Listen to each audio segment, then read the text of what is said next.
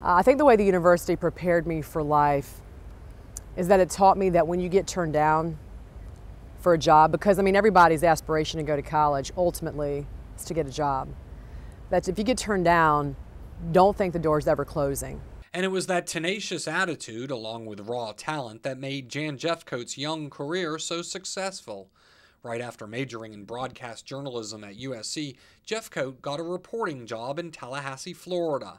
That soon led to promotions to stations in Charleston, Charlotte, Houston, and finally a prominent spot at a number three media market, Chicago shoe styles students can choose from. The problem, the brands are pretty pricey. We're Jeffcoat has received many awards in the 10 years since she's been out of Carolina, including two local Emmy nominations.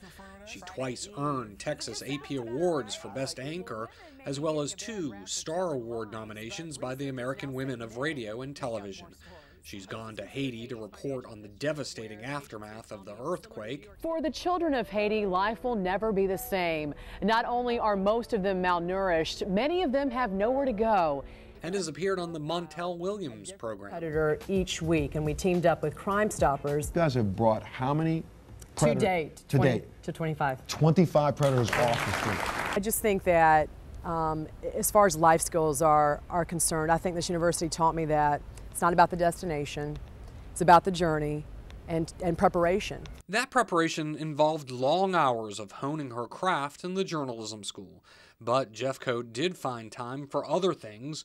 She joined a Christian ministry and also Kappa Delta sorority. Actually, I remember coming to Rush right here on the horseshoe, which is really cool. Jeffcoat says she loves her visits back to campus. This is quite an amazing place, I think, that people don't even really appreciate when they're here, but maybe when they go away.